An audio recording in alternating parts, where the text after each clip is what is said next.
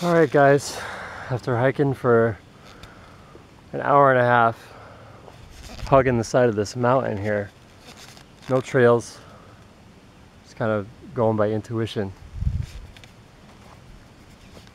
I found the standing stone. Obviously it's very submerged. Uh, I've seen photographs of people standing at the bottom of this rock. Uh, oh boy. Yeah, it looks exactly like the rocks up there. There's one actually right there. The.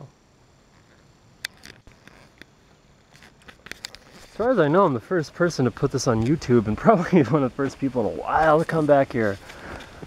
Um, yeah, it's very wet. Uh, very humid.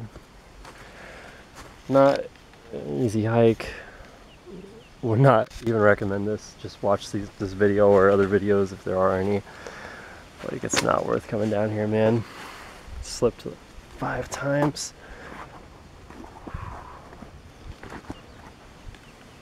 Boy, that's impressive. Big rock. oh, gee.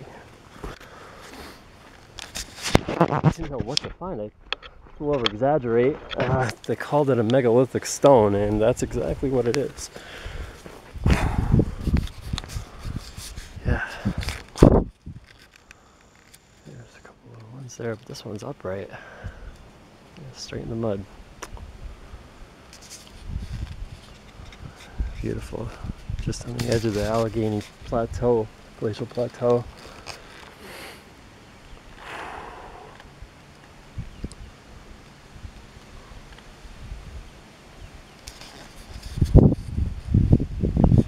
Yeah, this is it. The earliest uh, recorded signing I read was from about 250 years ago from the French. Uh, wow, there's some graffiti on there.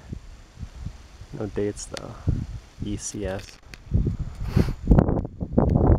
I've seen a lot of eagles.